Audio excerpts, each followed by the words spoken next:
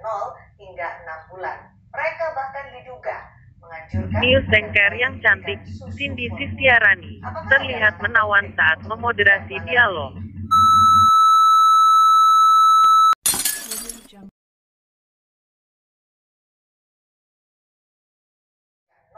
hingga 6 bulan. Mereka bahkan diduga menganjurkan agar bayi diberikan susu formula.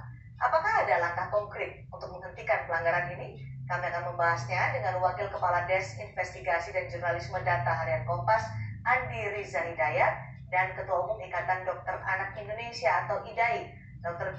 Piprim Basarah Yanuarso. Selamat malam, Mas An eh, Dr. Piprim. Terima kasih sudah bergabung di Sapa Indonesia Malam. Selamat malam, Mbak. Baik, Dokter Selamat Piprim, sambil kita menunggu Mas Andi bergabung bersama kita pada uh, malam hari ini, yang ingin saya tanyakan kepada Dokter Piprim dan juga IDAI, sebenarnya bagaimana idealnya pemberian susu formula pada bayi menurut indikasi medis? Karena kan ada aturan IDAI. Ya, terima kasih, Mbak. Eh, selamat malam, dok. Jadi, eh, kami ingin menjelaskan eh, bagaimana itu terjadi di Jakarta. Padahal ini kan nggak boleh ya di Permenkes 15 tahun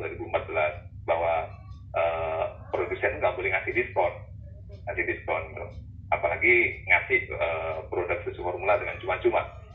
Lihat hal seperti ini terdokumentasi bahkan seperti yang disampaikan oleh Mas Andi tadi. Ya. Eh, mungkin memang tadi sekali lagi kami perlu melakukan investigasi mendalam kronologisnya seperti apa. Jadi masalahnya ada di mana? Apakah betul dari dokter spesialis yang Uh, bersangkutan? mengikuti waktu promo atau ikut mempromosikan susu formula itu. Hasil temuan investigasi harian Kompas bagaimana? Dua-duanya memungkinkan. Memang ada faktor ketidaktahuan itu juga ada. Eh, karena eh, hasil investigasi ini juga kami menemukan fakta bahwa eh, nakes-nakes dari berbagai level juga tidak memahami benar ya Termasuk dokter spesialis anak? termasuk beliau-beliau. Jadi mohon izin mungkin sebagian tidak semua, sebagian memang eh, belum memahami aturan-aturan tentang ini ya. Jadi eh, pengambilan indikasi medis, kemudian bahkan pemisahan ruang ruang rawat inap eh, ibu dan bayi itu kan nggak boleh terpisah. Tapi di misalkan di tentang tentang pemasaran dan pemberian susu formula rumah sakit eh, dan kemudian dari rumah sakit Di Medan itu oh ya kami akan menuju ke sana menuju menuju rawat gabung Hmm. di rawat gabung itu eh, akan memudahkan eh, proses eh, pemberian ASI dari ibu ke anak ya. Ini maksudnya begitu. Demikian. Baik, dok. Jadi sebenarnya aturannya bagaimana sih dok untuk uh, ruang bayi dan ibunya supaya tidak terhambat proses laktasi itu di rumah sakit? Baik. Jadi sebetulnya kita mengenal rumah sakit sayang bayi ya.